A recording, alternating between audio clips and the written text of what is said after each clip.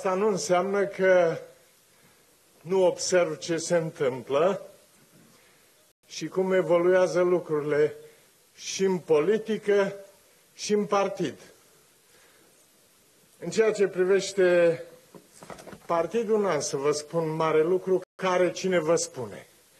Aveți conducerea aleasă la Congres și cred că un singur mesaj este foarte important și anume acela că europarlamentarele sunt despre structuri. Partidele care au structuri teritoriale vor avea succes. Partidele care doar raportează că au structuri și nu le au, vor vedea ce rezultate slabe vor obține la europarlamentare. Pentru că o localitate în care nu ai un om, doi oameni, trei oameni, e o localitate în care nu vei lua niciun vot. Deci o singură recomandare vă fac pentru europarlamentare, accelerați procesul de constituire a structurilor în teritoriu dacă vreți să aveți succes. Și eu vă doresc din tot sufletul mult succes. Bineînțeles, în, în afară de asta, trebuie să aveți grijă de listă. Lista trebuie să fie cu oameni care să poată să reprezinte interesele țării în Parlamentul European. Niciodată la PMP, așa tânăr cum e el, nu s-au făcut listele plecând de la interese de grup. Întotdeauna am avut cap de listă oameni care au prezentat credibilitate, în schimb nu ne-am prins că n-au caracter. Așa că, pe măsură ce i-am pus și au ajuns europarlamentari, au și plecat pe la alte partide. Dar, de data asta, sper să aveți uh, inspirație și cei pe care îi puneți să fie și valoroși, să poată să poarte mesaje de interes pentru România în Parlamentul European și să aibă și caracter. Și cu asta rezolvați lucrurile. Privind la țară, ce să vă spun, dragilor? Folosesc vocabularul meseriei mele. Parcă e o navă în derivă. Toate instituțiile se bat cu toate instituțiile. Iar blocajul de colaborare între președinție și guvern este extrem de dăunător. Extrem de dăunător și ține lucrurile blocate, pe de o parte, în interior, iar din exterior vă pot asigura că se vede groaznic. Se vede o țară care nu este gestionată. O țară care nu are direcție și nu are obiective. Iar uh, aici să nu se supere președintele Iohannis, dar putea să mă urmeze. Pentru că despre PSD știa foarte bine că este un partid care nu are reguli. Și când un partid nu are reguli în bătălia lui pentru a acapara toată puterea, trebuie să faci un lucru simplu, să-i pui reguli. Iar regulile trebuiau stabilite între președinte și premier. Pentru că avem o Constituție foarte largă, ușor interpretabilă, ca de altfel și legislația care derivă din Constituție în ceea ce privește relația președinte-guvern și fără un protocol nu merge și se vede acum. Vă aduc aminte experiența mea cu un USL care câștigase cu 68% alegerile, nu i-am dat lui Ponta mandatul de premier până n-am făcut celebru protocol de coabitare, pe care după ce l-a semnat, la două zile eram la Bruxelles, cu protocolul în original și tradus și depus ca garanție la președintele Comisiei Europene, care se uita și vedea cine și ce n-a făcut. Drept pentru care pisicul a primit un to-do list după un timp, în baza la ce nu respecta din protocol. Și uite așa, țara a putut fi ținută pe o linie consecventă în ceea ce privește politicile europene, dar și evoluțiile interne. Acum, nu spun că asta trebuie să fie o soluție uh, obligatorie. Când ai un guvern responsabil și un partid majoritar responsabil, se poate guverna în baza legilor și a Constituției. Când însă partidul care guvernează este PSD-ul, nicio măsură nu este exagerată. Nicio soluție prin care le stăvilești pofta de a acapara totul nu este o exagerare, pentru că ăsta este PSD-ul, un partid dezastruos pentru țară. Și apropo de acest lucru,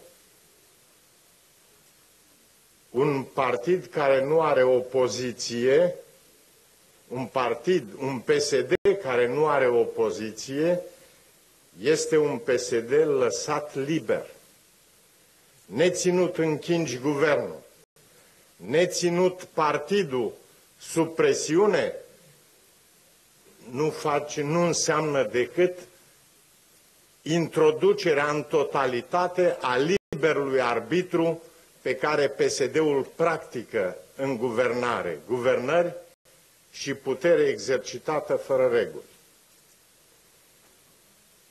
De aceea, pe mine mă surprinde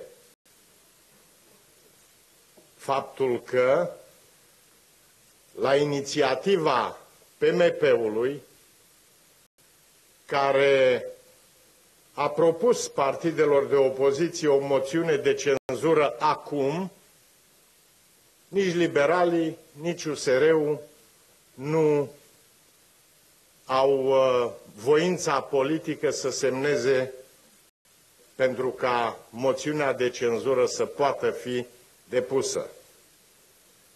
Este un moment extrem de bun, care trebuie valorificat de opoziție, pentru că situația lovește în electoratul PSD. În momentul de față, votantului PSD din mediul rural îi se ia porcul din curte. Și de la televizor a aflat și gospodarul din mediul rural că guvernul a avut un raport de la Comisia Europeană din februarie 2017 în care îi se cerea să ia măsuri pe care nu le-a luat. Pesta porcină este o probă a nivelului uriaș de incompetență și nepăsare a guvernelor PSD. Este un motiv pentru care în orice țară s-ar depune o moțiune de cenzură. Pentru că guvernul a fost prevenit, iar dezastru pestei porcine în România este de neimaginat ca dimensiune comparativ cu alte țări care s-au confruntat sau se confruntă cu pesta porcină.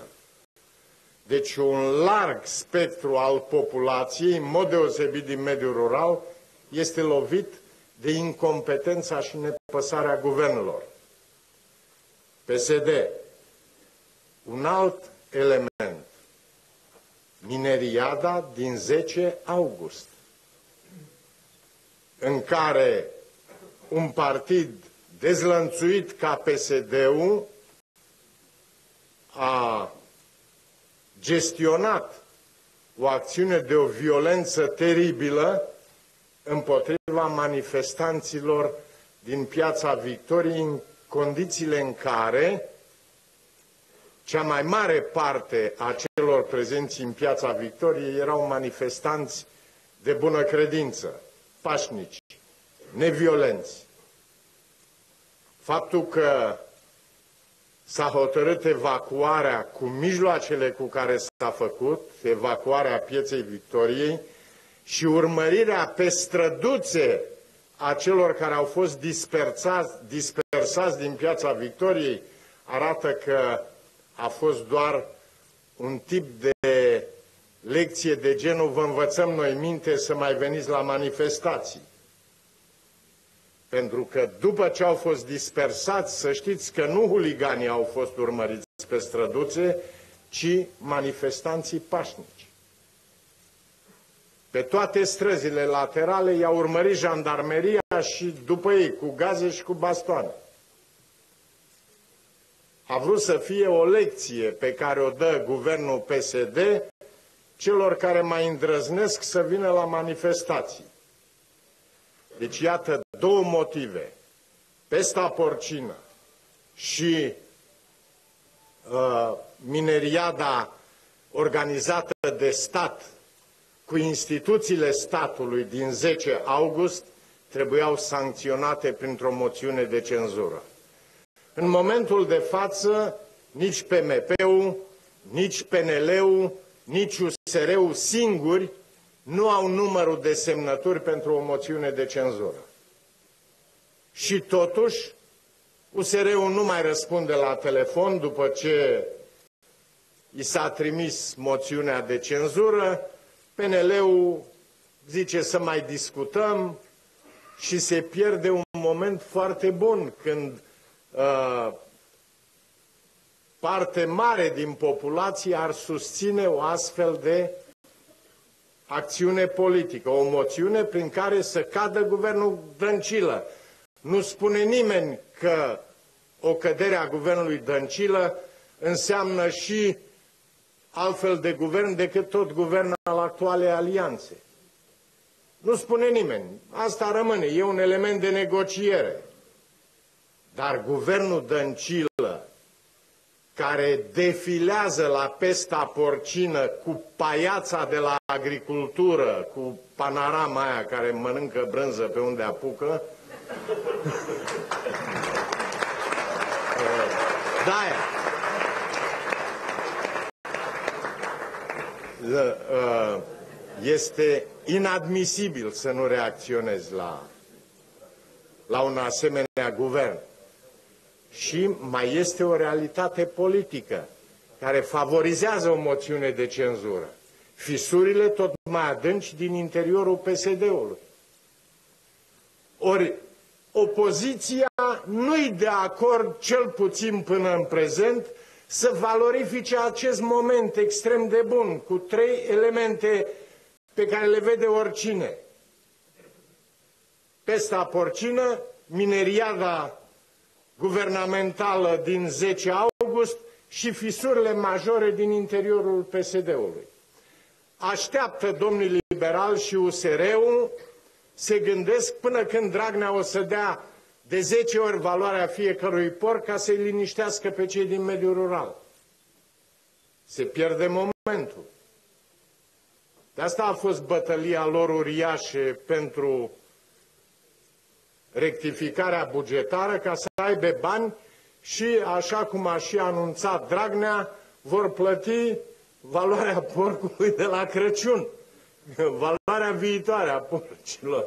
Deci uh, se va încerca o cumpărare a electoratului din mediul rural. Ori partidele de opoziție trebuiau să valorifice acest lucru cu rapiditate, cu o moțiune pe trei pagini care să nu ia o oră jumătate la citit ca ultima moțiune, în care să fie puse lucrurile punct cu punct în pagină, cu argumente, pentru că dacă nici la pesta porcină și la mineriada din 10 august nu sunt argumente pentru o moțiune, nu știu când vor mai fi.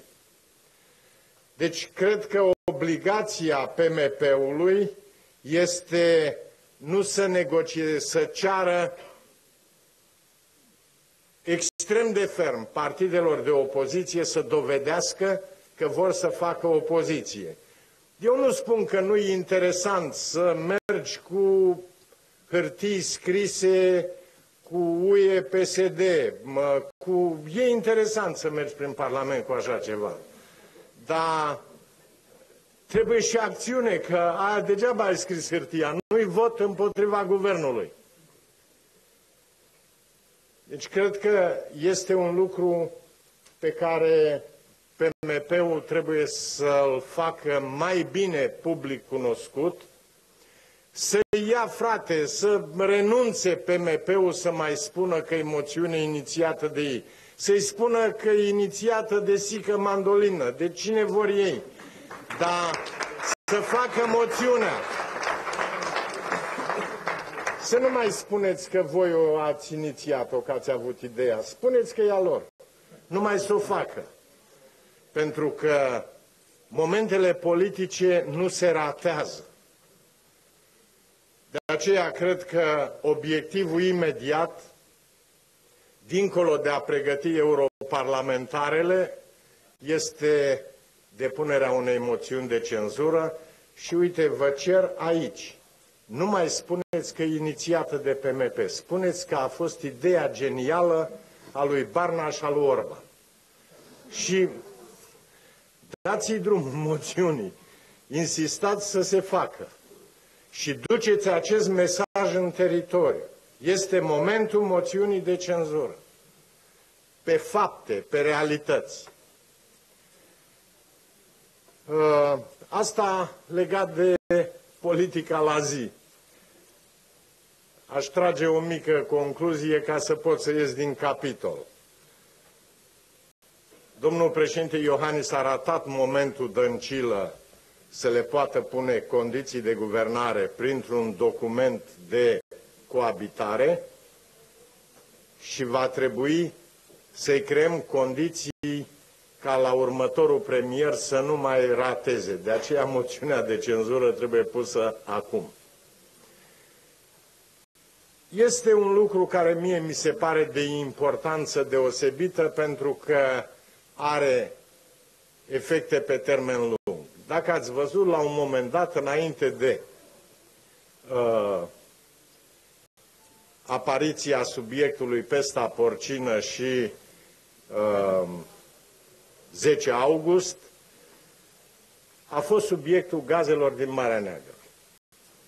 Și ca om care știe despre ce e vorba, aș vrea să vă spun câteva cuvinte despre acest lucru, pentru că voi nu aveți voie să fiți la fel de ignoranți ca cei de pe la televiziuni, oameni politici și chiar jurnaliști, din păcate, realizatori de talk show Ați văzut disperarea și realizatori care aveau ochii scoși din orbite că ne-au cumpărat ungurii gazele pentru că au făcut rezervare pe conducta Brua.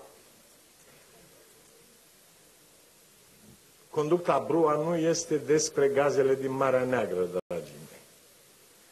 Conducta Brua este o deviație din TAP, Trans-Adriatic Pipe, care valorifică gazele din Shah Deniz 2, mare zăcământ de gaze din Azerbaijan. Din TAP, de pe teritoriul Greciei, se face o conexiune care merge prin Bulgaria, România, Ungaria, Austria. Este proiect european aprobat în 2013. Eu eram în Consiliu când acest proiect s-a aprobat. Și vizează, deci, transportul de gaze din zăcământul Shah Deniz II din Azerbaijan către Europa pe varianta principală care a fost TAP-ul și pe varianta Brua care trece și prin România, care este fostul Nabucco. Celebru proiect despre care probabil mulți dintre voi ați auzit și când s-a decis să se facă întâi tapul și ca etapa a doua să se facă brua, deci conducta, repet, Bulgaria, România, Ungaria, Austria, ăsta este fostul Nabucco. Ce s-a inversat? S-au inversat uh, cantitățile principale, adică pe Nabucco era cantitatea principală de gaz care se transporta către Europa, acum tapul este cu cantitatea principală și uh, brua este o deviație din uh, conducta principală. Dar conducta va avea circa 10 miliarde de metri cub pe an capacitate. V-am spus asta pentru că noi nu trebuie să cădem în plasa ignoranței. Și acum vin să vă spun, pentru că suntem la malul mării, câteva cuvinte și despre gazele din Marea Neagră. Acolo zăcăminte certe sunt circa 200 de miliarde de metri cubi. Iar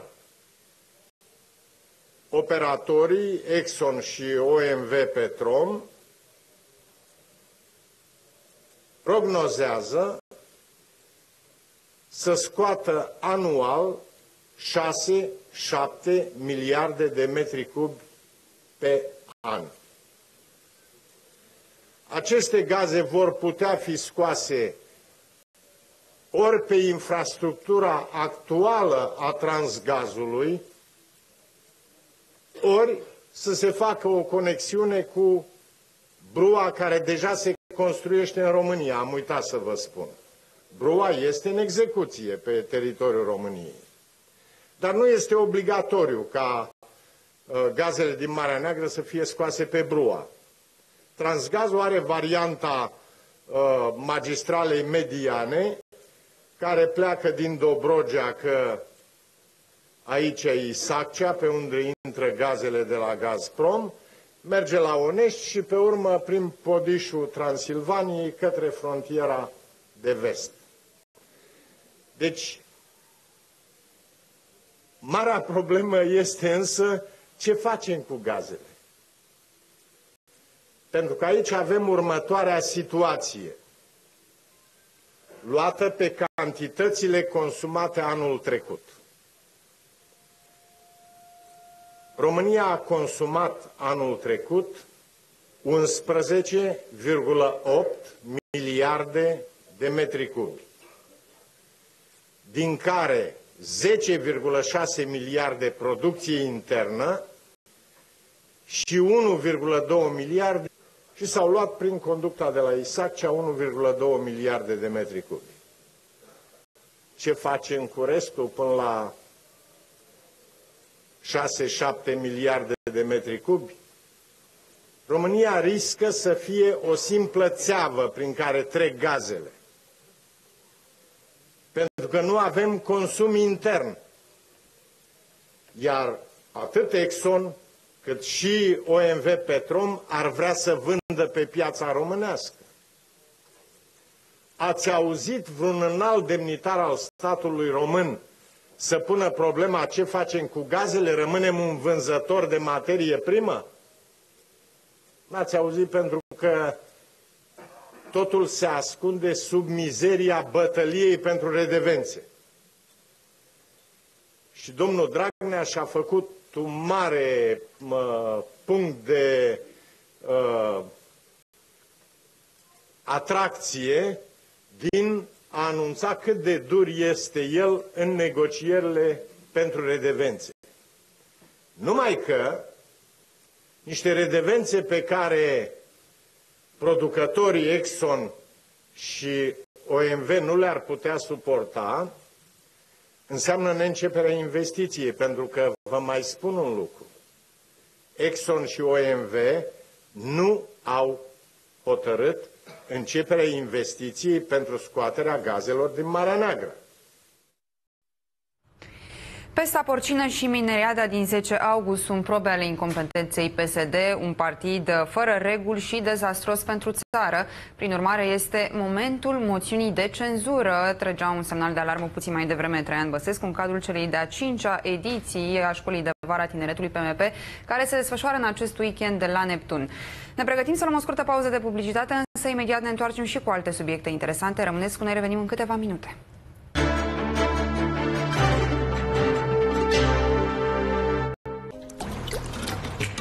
O călătorie